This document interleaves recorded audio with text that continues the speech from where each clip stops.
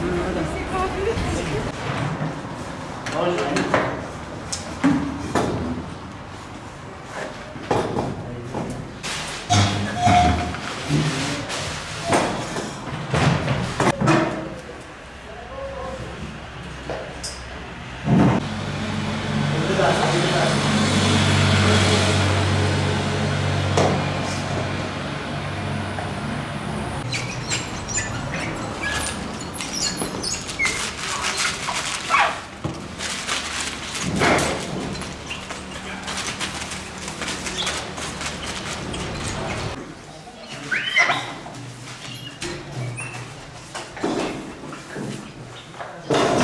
Açılma beklentimiz var. Yani biz de şimdi heyecandayız. Açılırsa bizim için iyi olur, esnaf için iyi olur yani. Şu ana kadar çok mağduruz yani. 3 aydır biz kapalıyız. Normalleşme içinde biz de varız Hakkari'de. Ee, Mart'ın birinde açacaklar galiba. Hani biz bu heyecanla bekliyoruz. Öncelikle e, çalışan arkadaşlarımızla hijyen, temizlik yaptık.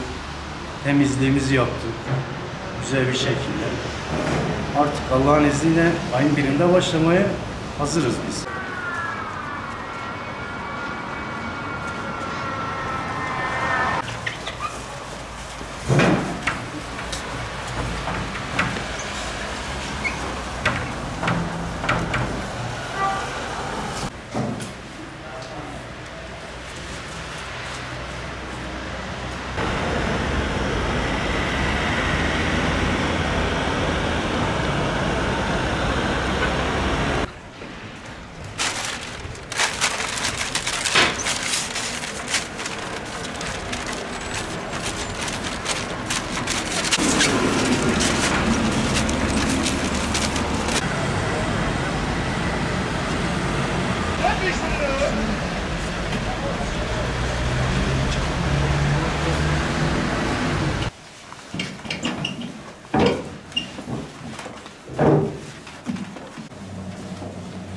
Ee,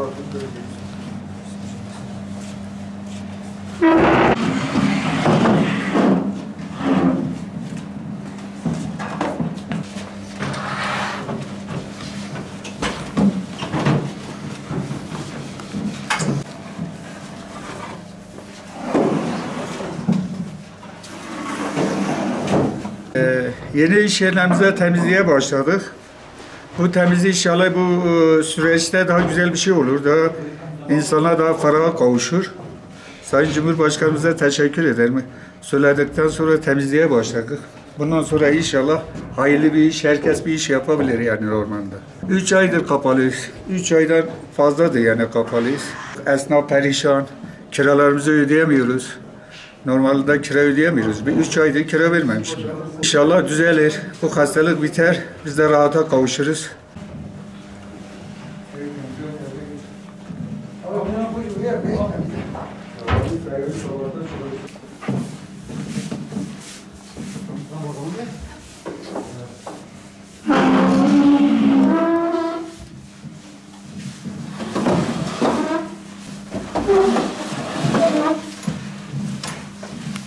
Üç ay, üç buçuk aydır hemen hemen kapatmışız biz.